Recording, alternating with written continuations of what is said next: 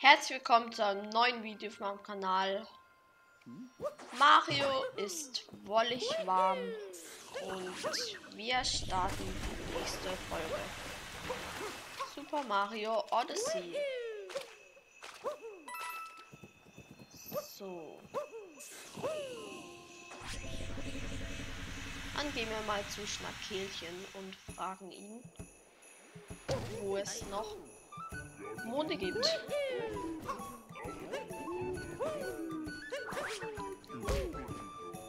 Genau. Hallo. Mir ist nicht kalt. Laufen auf dem Eis. Mondstücke im frostigen Raum. Perfekt, das sagt mir alles gar nichts. Ah, ich weiß aber, wo das ist.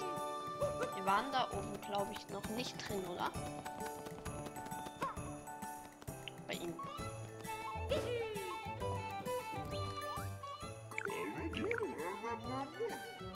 Ich kann dir leider keinen Eintritt gewähren. Du siehst aus, als wäre dir schön warm. Da hat jemand mitgedacht. Sehr löblich. Komm mal rein.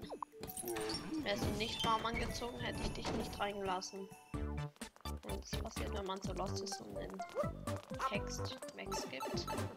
Ah, hier ist ein Grundstück. Vor allem ist das hier eine Challenge, sonst war das noch nie eine Challenge.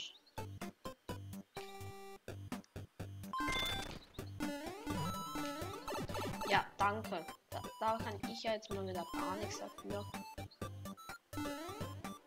Ah, und das war Lost. Ach, jetzt sterbe ich auch noch gleich. Das ist halt so rutschig. Nein, nein. Oh. Oh je. Da kommt man gar nicht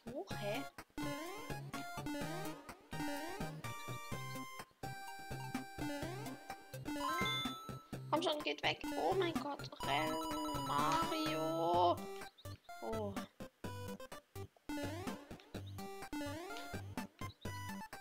Warten, jetzt hoch. Oh, oh, ich habe ihn nicht sogar. Oh, da ist was.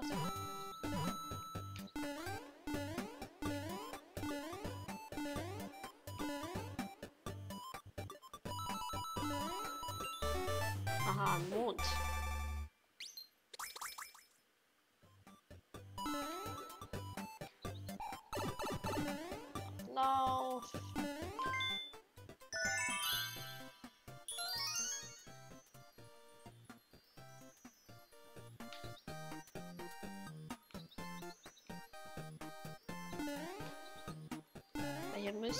Auch noch lila Münzen geben, oder?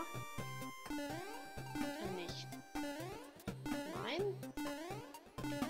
Echt nicht? Schade. Oh, jetzt rennen, Mario, jetzt rennen. Schade. Hab gehofft, dass hier noch lila Münzen liegt.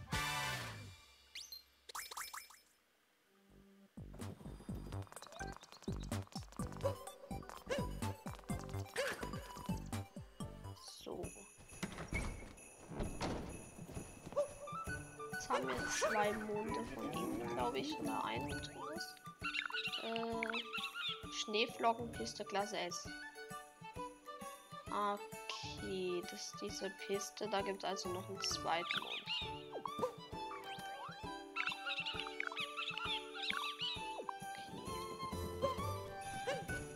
Okay. Nur einen von den Monden gefunden, die er gesagt hat. Hm, Ja. Okay. Dann machen wir mal die Schneeflockenpiste S. Nach Sau äh, Sauchen wahrscheinlich. Suchen wir mal nach ähm, dem Mond auf dem Eis oder sowas. Oder vielleicht finden wir einen. Keine Ahnung.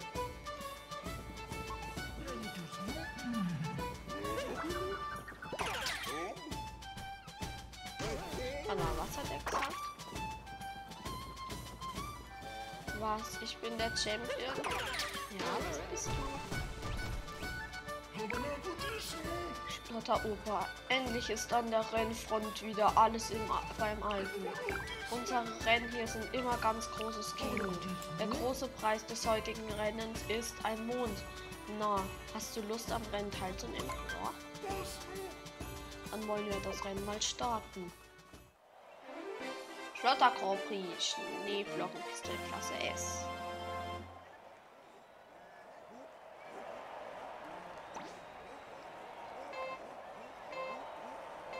wahrscheinlich jetzt nicht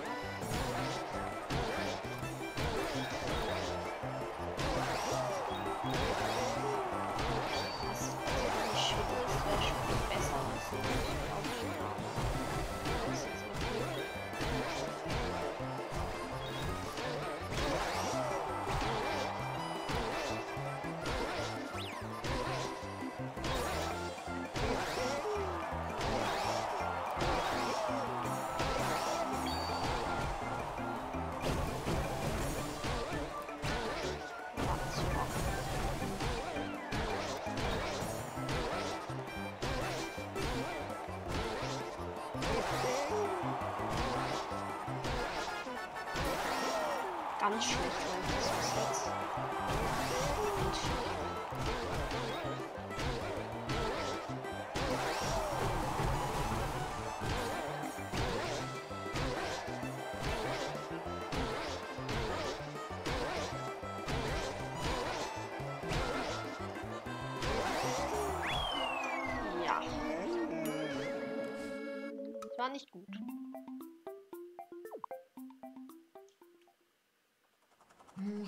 Ich freue mich schon sehr, wenn du das nächste Mal an den Start gehst. Ja, jetzt.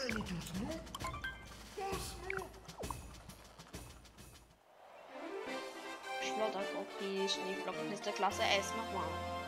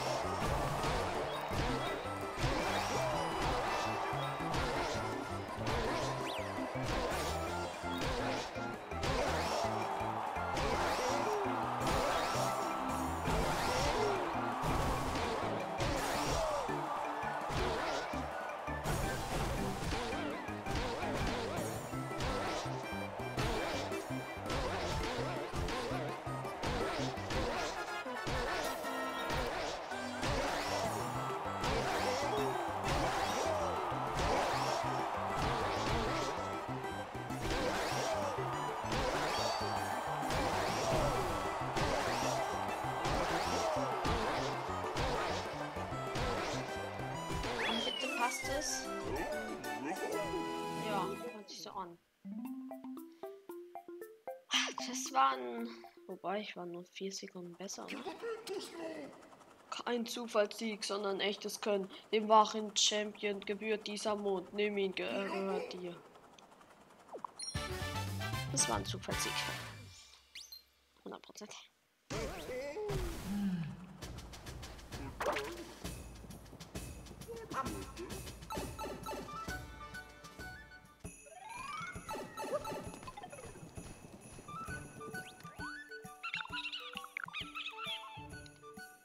Polarlandkunst gefunden.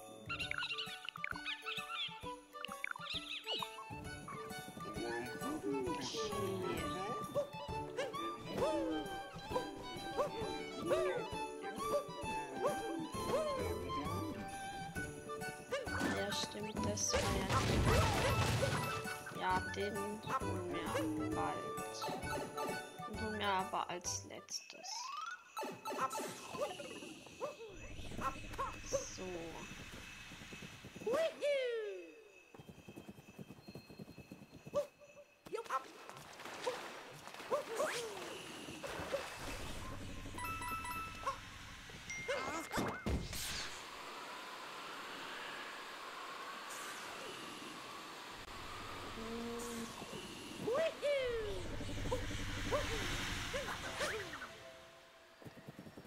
Waren wir schon.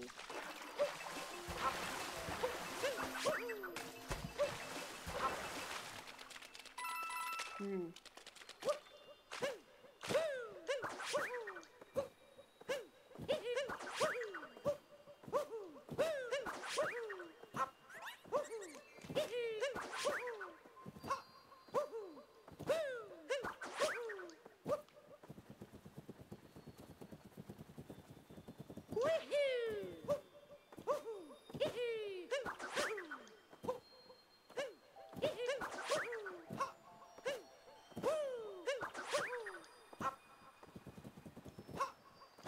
Waren wir auch. Da ist noch so ein Stein. Da waren wir doch. Nee, da waren wir noch nicht drin. Nein, sonst wäre die Tür doch offen, oder? Ah, das ist, glaube ich, auch ein Laufen auf dem Eis. Da muss man wieder so, so eine Linie nachlaufen, aber jetzt auf dem Eis. Hey, Kumpel, Lust auf eine kleine Herausforderung? Laufen finden ja die meisten ganz schön, aber kaum jemand gibt sich richtig Mühe beim Pfeillaufen. Ähm, beim Pfeilelaufen geht es genau darum. Wenn du dich als Talent erweist, bekommst du sogar einen Preis. Willst du mal versuchen? Willst du es mal versuchen? Ast rein. Okay, Dreieck. Die Regeln sind kinderleicht. Folge einfach den Pfeilen auf den Boden. Jetzt kommt der knifflige Teil. Nach kurzer Zeit verschwinden die Pfeile. Du musst mindestens 80 Punkte einheimsen. Klar, auf geht's.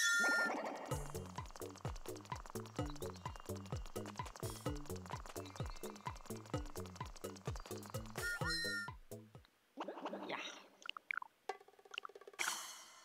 Als ob das 86 Punkte waren. Ein Lauf war nicht von schlechten Eltern. Tada! Dieser Mond gehört jetzt dir.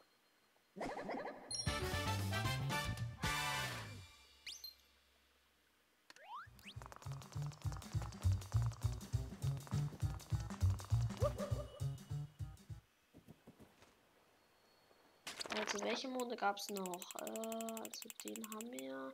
Mir ist nicht kalt.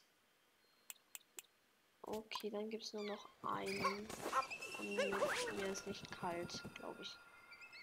Ich denke danach kommen kann. Mir ist nicht kalt. Ah, das könnte was mit dem Fisch zu tun haben. Weil der, äh, dem ist ja nicht kalt unter Wasser. Könnte es ja sein, dass nur unter Wasser Mond ist. Komm schon.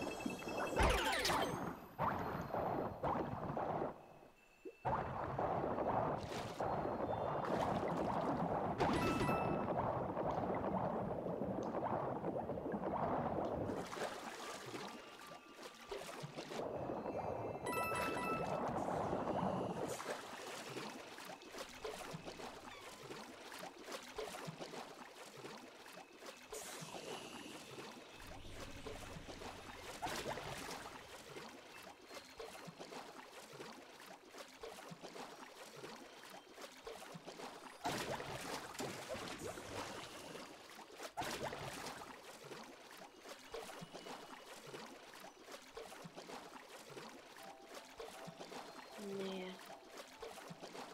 Hoffentlich gar nichts. Was ist da hinten? Ist da was? Nee, die Münzen. Hm. Wo könnte da was sein? Dem Raum, nur mit Cappy waren. Äh, ohne Cappy waren. Tür ist nicht zu. Ich glaube immer, wenn man, äh, wenn die Tür. Ah ne, da haben wir zwei Monde. Nee, nee. Äh, komme ich jetzt hier raus? Achso. Mist. Ähm. Hm.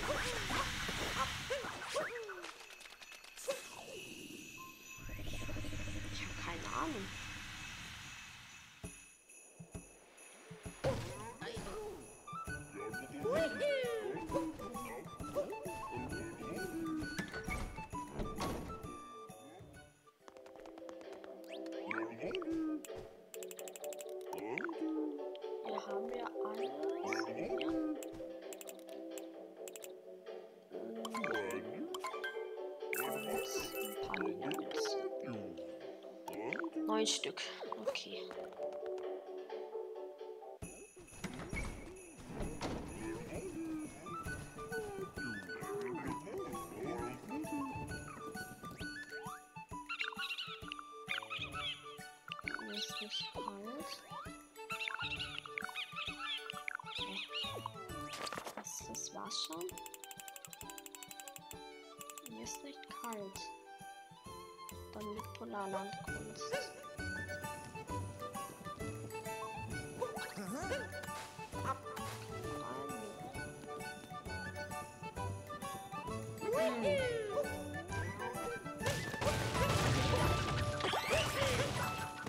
Schaue ich mal ein bisschen auf Cam nach, wo der Mond sein könnte. Bis gleich.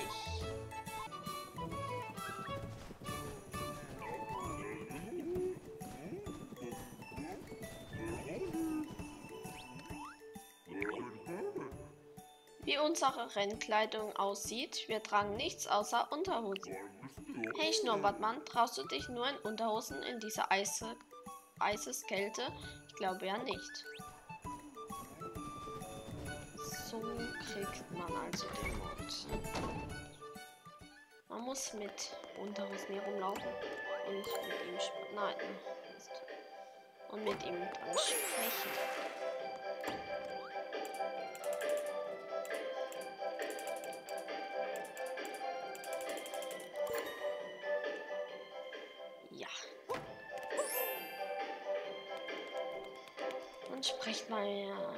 Äh, sprecht mir mal mit ihm. Okay. Ich habe nur Unterhosen anschaulich. Beeindruckend. Nur ein wirklich harter Kerl würde sich nur in Unterhosen äh, gekleidet dieser Kälte aussetzen. Du bist ganz schön hart im Nehmen. Hier, nimm das.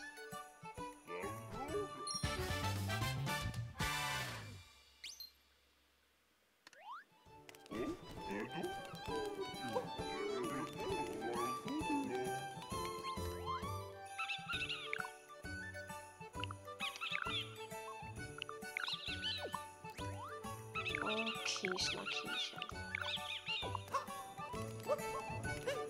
Ich weiß nicht, wie lange ich für diesen Mond gebraucht habe. Ich habe alles abgesucht und dann habe ich probiert. Ah, vielleicht will er mit mir sprechen. Ich irgendwas für ihn machen.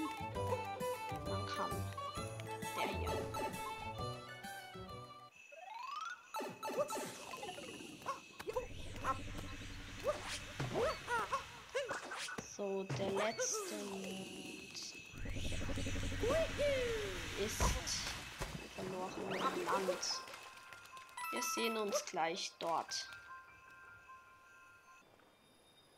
Zehn Monde braucht man. Wie viel haben wir?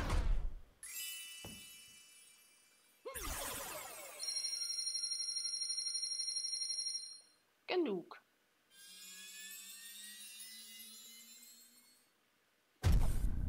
Ja, also ich würde mal sagen, wir haben mehr als 10. Die Odyssey ist leistungsfähiger. Jetzt gleich im verlorenen Land. Ah, nein, das müssen wir uns noch anschauen. Jetzt können wir ins Küstenland reisen. Bowser, jetzt sind wir dir auf den Fersen. Nein, Cappy, wir gehen mal hierher. Bis gleich. Hier ist er. Okay, dann zurück ins Polarland und die letzten lila Münzen suchen. Wir sehen uns dann dort. Wir haben also die einfachsten lila Münzen ever verpasst. Genau hinter der Odyssee. Dann bis gleich, wenn ich den nächsten gefunden habe. Also diese lila Münzen. Oh mein Gott. Ich habe hier alles nochmal abgesucht. Und dann habe ich diese äh, zwei Teile hier gesehen. Und hier oben sind wirklich vier lila Münzen.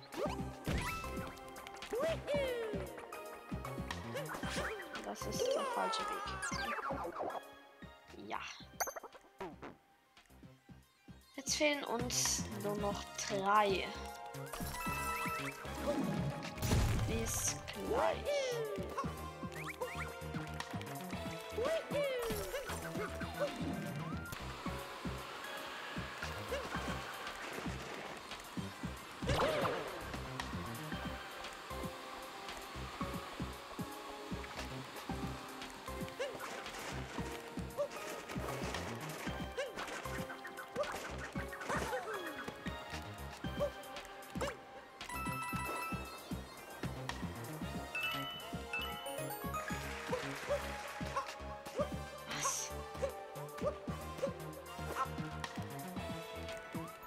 Darauf bin ich gerade wirklich nur gekommen.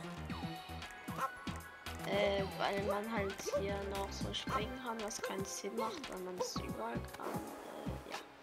Nee, weil, ach, keine Ahnung, wie ich da gekommen bin. Ich bin einfach, ich bin einfach lost.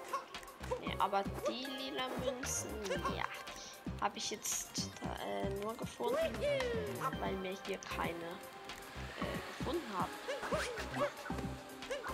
Hier haben wir gar keine, außer die drei. Und es waren immer in jedem Raum ähm, mindestens, also bis jetzt immer sieben. Und in dem Raum waren es nur drei.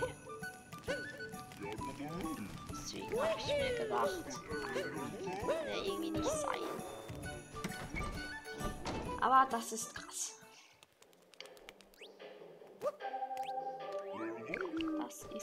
Krass.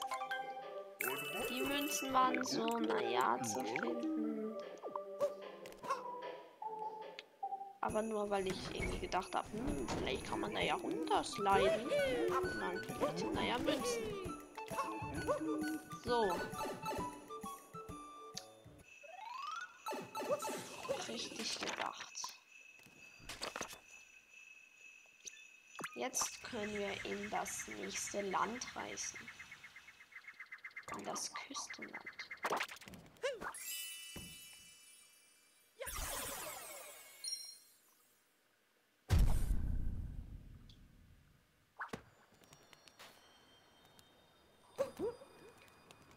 Chiudo al fine.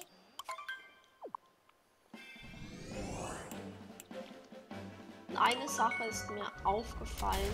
Wir haben uns noch nie die Beschreibung von dem Land durchgelesen. Steht so cooles Zeugs, irgendwas von den Einwohnern und so. Wir haben noch nie die Beschreibung durchgelesen. Das will ich auch noch nachholen.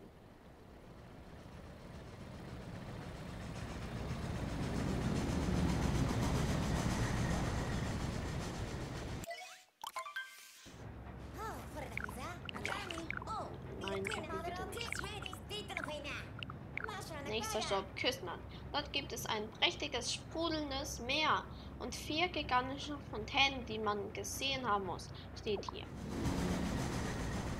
Genau, Cappy. Was gibt's da anscheinend? Küstenland, Blubberstrand.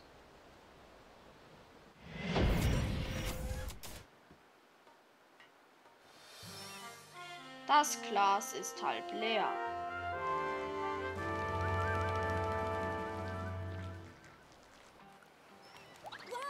Dann müssen wir wahrscheinlich den besiegen. Ne? Nee, was ist denn hier alles los? Nee. Also erstmal zu dem Checkpoint. Genau. Ui, und hier ist der Crazy Cap Store. Sehr lustig. Ah,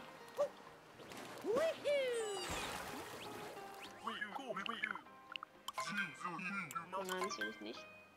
Hey, so ein geiles Piraten-Anzugsteil. Doch, ja, das sieht schön aus. Hier passt die Badehose richtig gut. Und das Land ist mega schön. Bis jetzt gefällt es mir. Gefällt. Gefällt.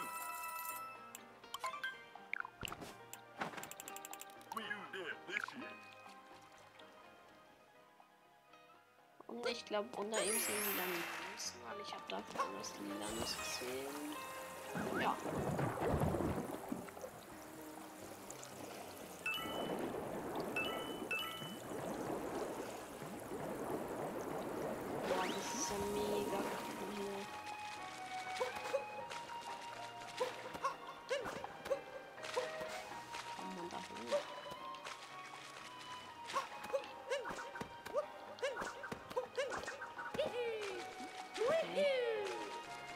Keine Ahnung. Ah, da oben sind, glaube ich, noch Familienmünzen, oder? Was? Das sind, glaube ich, Ledermünzen, aber wie kommt man da überall hoch? Ist es. Hä? Ja, das sind Ledermünzen. Ah, da muss es irgendwas zum Kapern geben, was richtig hoch springen kann.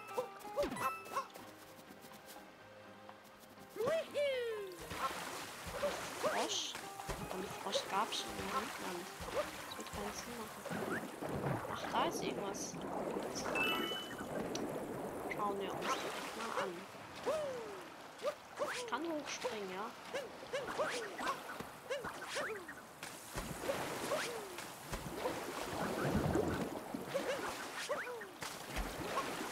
Oh Gott, was ist das denn? Ich hab mich aber abgeschossen. Lul, hier kann man. Kann sich da hochschießen. So. Das ist ja cool. Oh, aber ich glaube, der Tank ist gleich leer.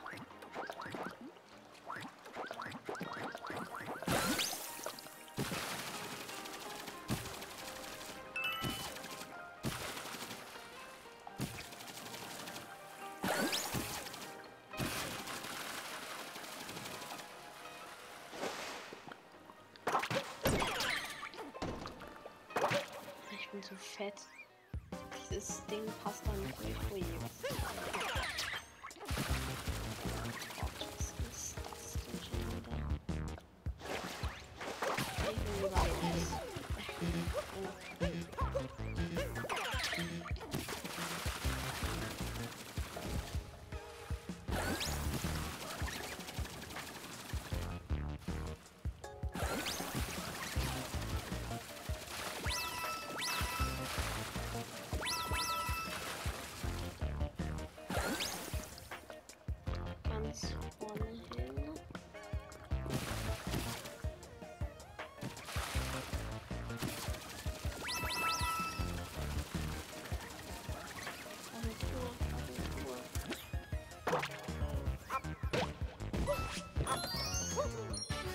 Boah, die Monde sehen so cool aus.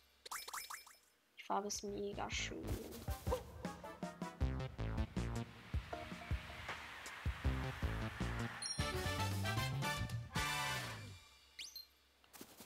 Und das ist voll cool hier. So richtig so. So richtig schön hier. Hier würde ich mal ganz schwimmen gehen.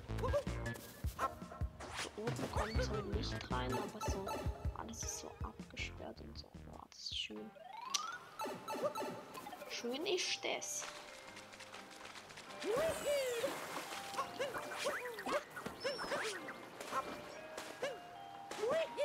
Das Beachvolleyball. Hier können wir ja ganz schnell rennen. Und auch graben.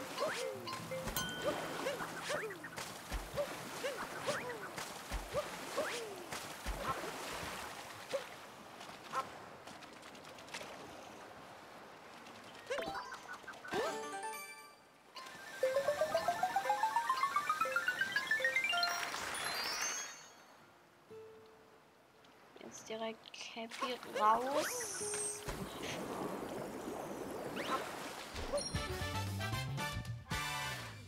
Das ist wieder eine große Welt.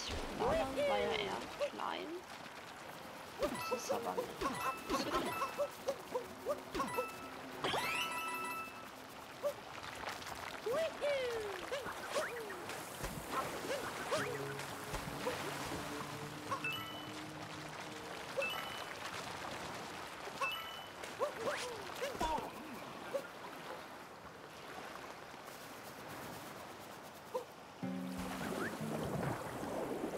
Viele Monde gibt's hier? 52. Das ist, glaube ich, viel. Ja. Daran gab es, glaube ich, noch 20 oder so.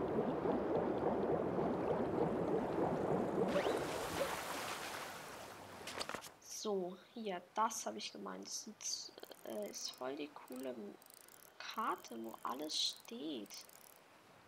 Das will ich ab sofort echt durchlesen. Und in den al alten Welten natürlich auch noch nachholen. Küstenland, wo Meer und Sonne sich begegnen. Flubberstrand, ein edles Resort an einem sprudelnden Meer.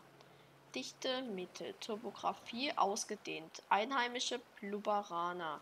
Währung muschelförmig, Industrie, Wellness, Tourismus. Temperatur, äh, Temperatur durchschnittlich 31 Grad. Boah, ist schön warm.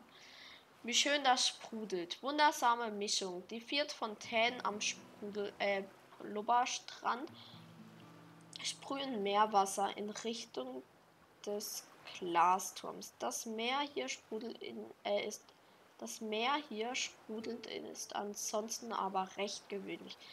Wird das Wasser jedoch erstmal im Glasturm vermischt, enthält es einen vollmundig eleganten Geschmack und wird zu Edelwasser. Dieses soll, äh, soll demjenigen, das, äh, der es trinkt, Glück, Zufriedenheit und sogar Liebe bringen. Daher wird es auch gerne zu Hochzeiten gereicht. Also wollen die das Blubberwasser klauen? Der Glasturm ähm, funkelt in der Abendsonne.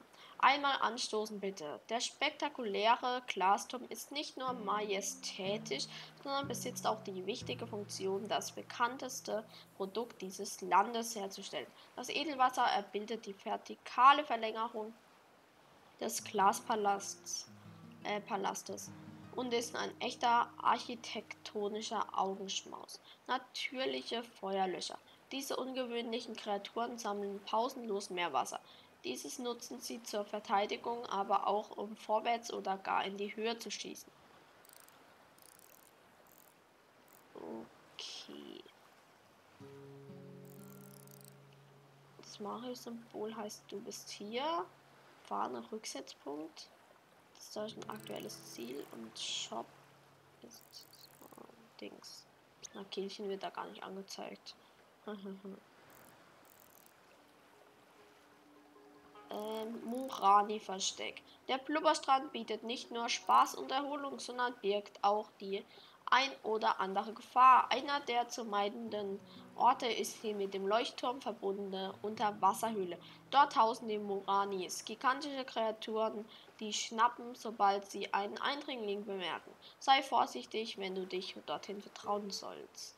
Äh, solltest. Uh, die sehen echt gefährlich aus. Von beeindruckender Größe. Natürliche heiße Quelle. Ein Stückchen vom Strand entfernt findet äh, sich eine äh, Freiluftbad, das von einer natürlichen heißen Quelle gespeist wird. Urlauber lieben den Blick auf das offene Meer. Die Quelle entstand durch Vulkanaktivität auf dem Meeresgrund und soll medizinische Eigenschaften besitzen.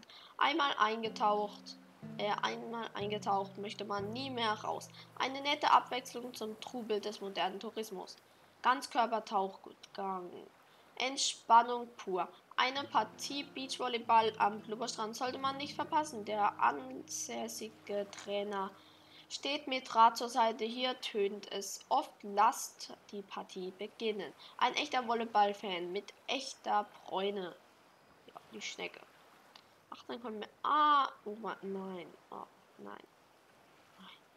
Nein. Nein. Nein. Nein.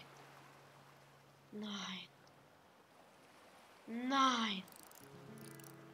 Schaut mal, was da ist. Da ist so ein Gerät. Wie bei Heimspringen. Muss man wirklich gegen diese Schnecke Beachvolleyball spielen? Wenn man da wieder 100, 100 äh, Würfe machen muss, wie beim Zeitspringen 100 Sprünge, nee. Nein. Ich habe jetzt schon keinen Bock. Ich habe wirklich keinen Bock. Nee. Ey, 100 schaffe ich nicht. Nee, nee. Ich hoffe, das ist einfacher wie beim Zeitspringen. Ich, ich, ich habe fünf Stunden oder so fürs Zeitspringen gebraucht. Nee, ich denke eher mehr. Wirklich, ich denke echt so um die 10. Ich habe wirklich so vorm Fernseher, äh, hier am PC, keine Ahnung, ey. Ich habe es im Handheld alles probiert. Ich habe bestimmt acht Stunden gebraucht. Safe. Ich habe drei Tage, habe ich das versucht. Und da kommen schon acht Stunden bestimmt hin.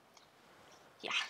Das Reisland in drei Punkten. Lass dich von der äh, von den vier Fontänen beeindrucken, die den Glasturm speisen. Erfrische dich im herrlichen kühlen Sprudelwasser der Blubberaner. Lass dich, äh, lass dir nicht die Aktion geladenen Beachvolleyball-Turniere entgehen. ich habe da gar keinen Bock drauf. Also, das war's mit diesem Video. Ähm, ich würde mich über ein Abo und Like freuen. Ciao. Mario kann jetzt natürlich ein bisschen schwimmen gehen. Yeah. Also, ciao.